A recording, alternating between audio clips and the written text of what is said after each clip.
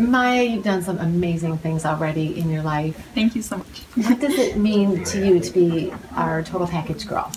Um, well, thank you so much. I'm so honored to have been chosen for this. It's amazing. Um, something that I think is really important um, to be a total package girl is to have confidence in yourself and confidence in what you're doing and what you believe in because that's really going to show. And if you kind of carry yourself with confidence and you know show other people that this is who I am this is what I believe in I think that that's something that really makes one a total package girl.